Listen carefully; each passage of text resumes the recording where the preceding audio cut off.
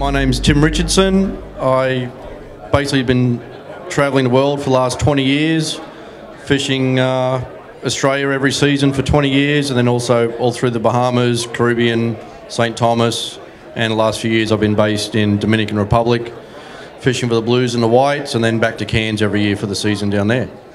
Um, I speak funny, but not as bad as Brad.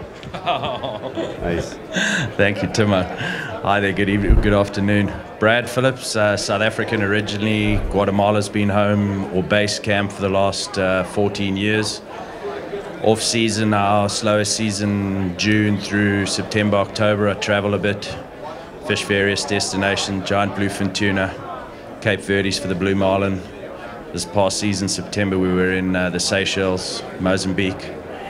Uh, prior, prior to Guatemala, Brazil was home for a while, two years. Central Africa. So we get around. Thank you.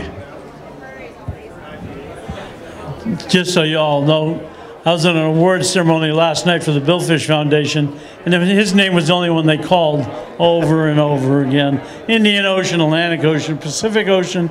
Did, did you let any? Oh, you, you didn't qualify for junior awards. That's right. But my name's Captain Bouncer Smith, and I came 16 blocks to be here. So, uh, based in Miami, I've uh, been uh, full time here since 1966.